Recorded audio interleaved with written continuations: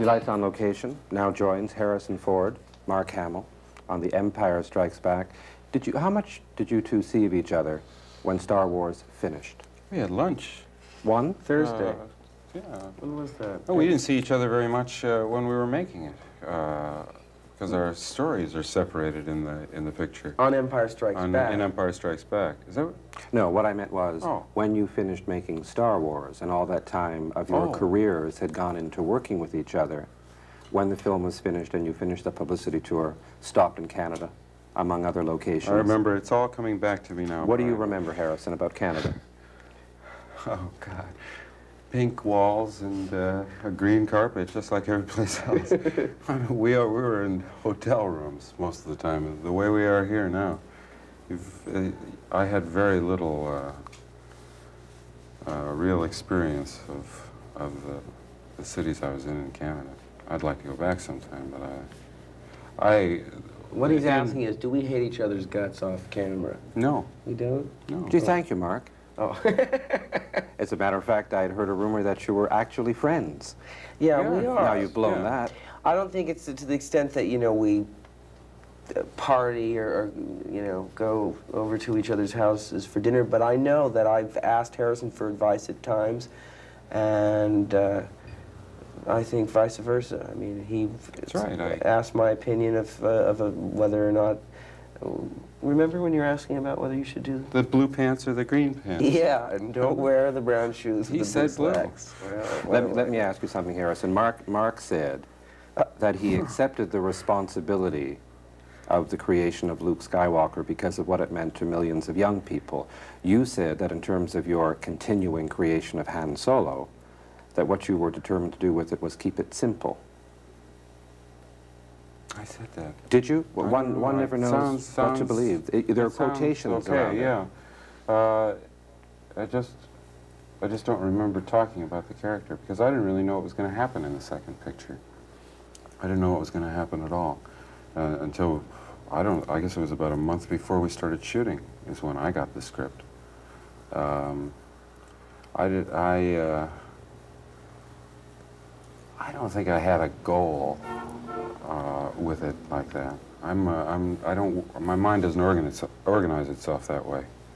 I'm more apt to try and find a functional uh, solution to a problem that I, that I face than to think that way. I only ask that because if, if one can believe the statement that no one ever sets out to make a bad film, Yeah. and when one reads a script or an agent makes a deal, you go off to do the job to the best of your ability. When you put all the time and effort you put into a film like Hanover Street, and you read the kind of vitriolic response you must have been aware of toward it, surely you, you worked hard to do what you might have done well in that film. Mhm. When you say Han Solo is a character that you I have a trick. I never read the vitriolic response to it, and I was out of town while it, while the mobs were still in the streets. I, uh, I did six films between the first and the second, and uh, some of them were not as successful as I might have hoped for. But uh, uh, the effort put into it is, uh, I don't think, ever wasted. The experience uh, is always useful. And I think the actor that continues to work will survive occasional, perhaps mistakes in judgment. All right.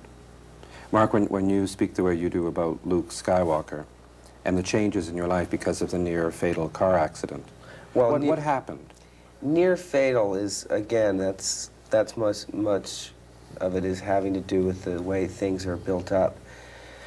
It's like playing telephone, where you get the message, you tell someone else, you tell someone, tell, it goes all the way around. By the time it gets back to you, you don't recognize it anymore. What happened was I tried to negotiate three lanes on a deserted freeway in a, B, a brand new BMW. It was about sunset, I guess 6:30 or so, and I broke my nose against the steering wheel. And that's about all. And it was about, it was three years ago. So it was before Star Wars came out. No one was interested then. I don't see why they're so interested now. How do you respond to the industry information that Mel Ferrer is after you for a new production of Peter Pan? Are you interested? I was always interested in seeing that story done um, like the book and not like the musical, which is another thing. I don't know whether that's true or not. I, my favorite thing I ever read was that I was going to play Sylvester Stallone's son in the sequel to Fist. And now, I, see, those are the kind of things you read that, and, and sometimes it, they're true and sometimes they're not. So I don't know if that is true or not. I want to work, though. has, has Mel Ferrer been in touch with you or only with columnists? No, he's never called me as far as I know. Maybe you're supposed to respond to him, Mark, and say, I've just read this in the paper, and yes, I'm interested. Maybe I should. Have you done any writing since that episode of Wheeler Dealers you did? Texas Wheelers? Texas Wheelers? Sorry. Um, no, just letters to my mom, you know. Uh, but that's something that I, would really like to pursue. I mean, it, it seems like that might be one of the only alternatives to. Hopefully, I think in The Empire Strikes Back, you see that I have an ability that people maybe not didn't realize from the first Star Wars. But uh, again, I'm prepared not to work as much as I hate the inactivity, uh, rather than do an all-star disaster movie. You know, unless I'm really strapped for cash. There'll be no Airport 81 for you? Not if I can help it. Harrison, were you as involved in the physical fitness campaign preparing for Absolutely Empire as Mark not. was no. David Prowse? No, not at all. Why not? Because I don't. I didn't have to do anything very strenuous, and besides, I have a, an almost pathological aversion to exercise for its own sake. I uh, I like to work occasionally, but I don't. Uh, I'm not a physical fitness uh, freak as much as it's fashionable at the moment. So David Prowse and Mark Hamill just left you out of their dialogues on pecs and biceps and who had gained how many uh, inches that brother. day. Yeah, but see, Dave Prowse has a balcony you could do Shakespeare from. Have you seen those pecs? Uh, you don't get a title for nothing, Mark. Well, I, you know, it was awful. It's that like that old why the moron hit himself over the head with a hammer because it felt so good when he stopped. That's the way I looked at weightlifting. It was just a torturous experience. Uh, How about the karate? Karate also very physically. I mean, you're just absolutely spent when when you're finished. You feel like your lungs are going to burst. My favorite part of the training was the kendo, which is Japanese sword play, but that's really stylized and beautiful. And uh, it looks as though the way things are going, I mean, the, I don't know much about the third film, Revenge of the Jedi, but I do know that I, in this film, I promised Yoda I'd go back and finish my training. I probably should have kept my big mouth shut. Maybe there are some people at that high school in Japan that you could really go back and impress with your kendo.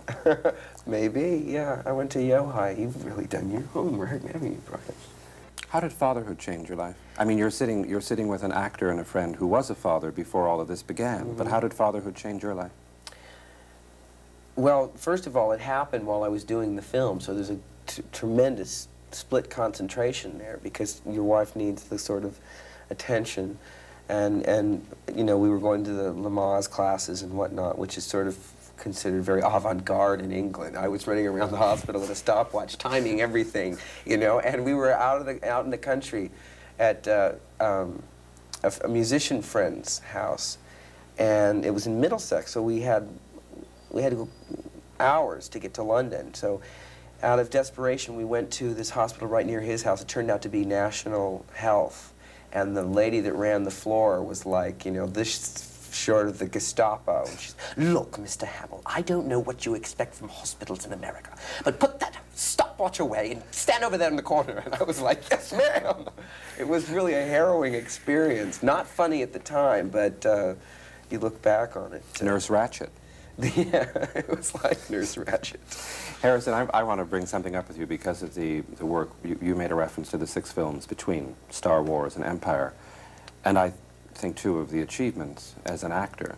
However small the moment may have been in Apocalypse Now, it was meaningful.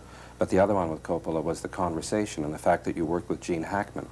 And Gene Hackman said recently in conversation that I had brought up the fact why he had not worked since Superman.